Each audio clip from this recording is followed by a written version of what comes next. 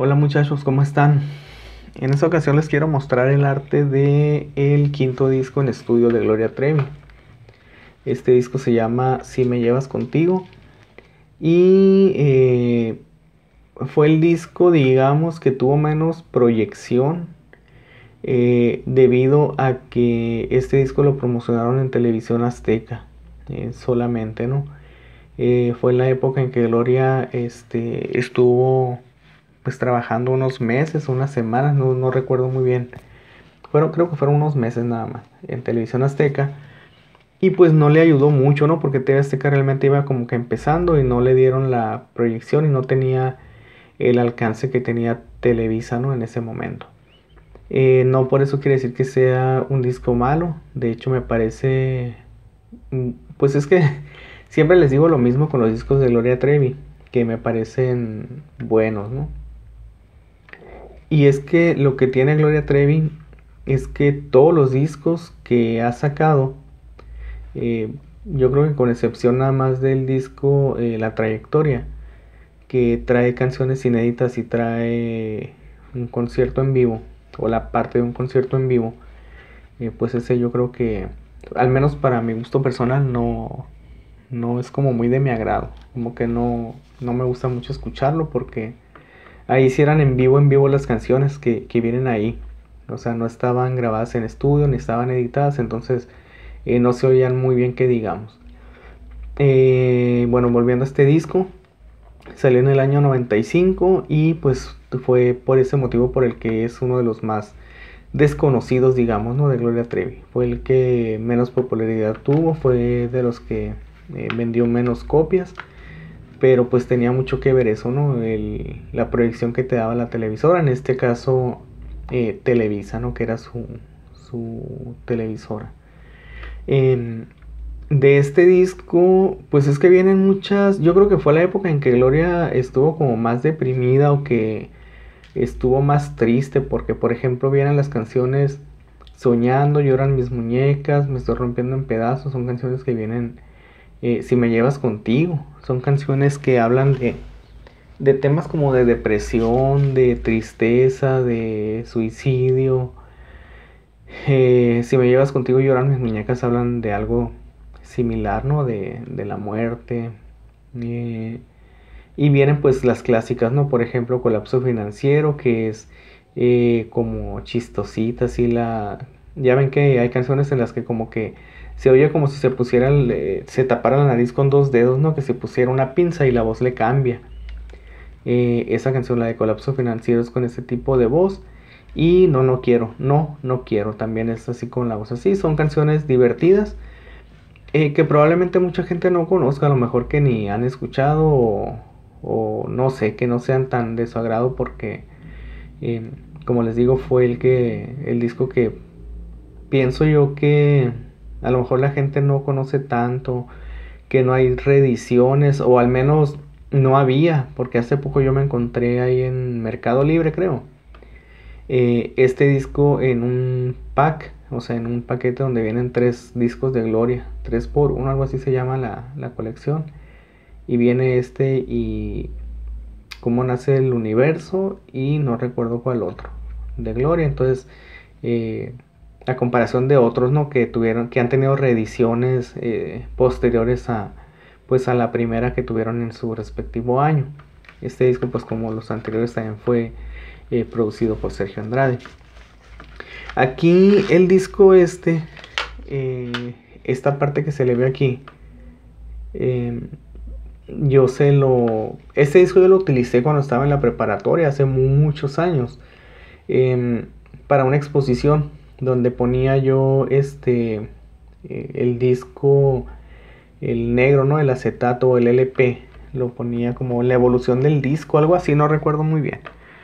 Eh, y ponía al final el disco el CD que era lo más nuevo que había en aquel entonces.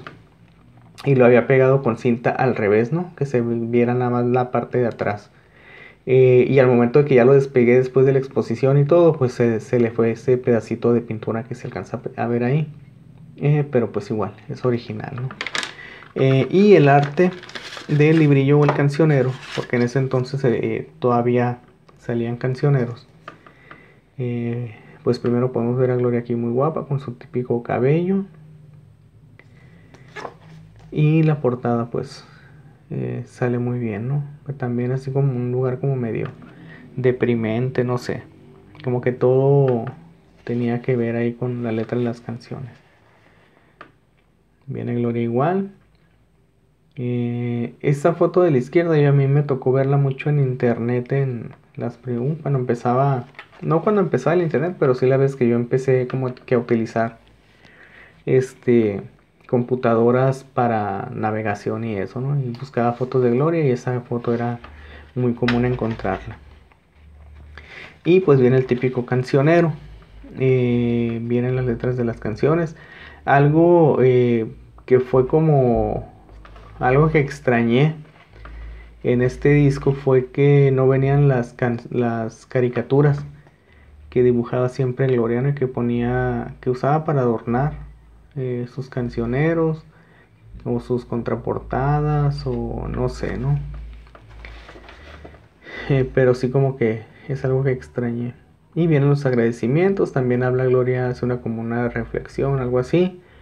Em, en este disco viene eh, Katia de la Cuesta, creo, no. A Katia de la Cuesta le viene eh, tocando el bajo eléctrico a Gloria.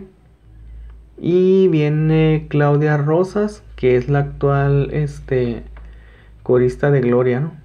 Que estuvo con ella en Boquitas Pintadas. Y Marlene Calderón, o Marlene Calderón, como algunos la pueden conocer. Eh, le hacían los coros.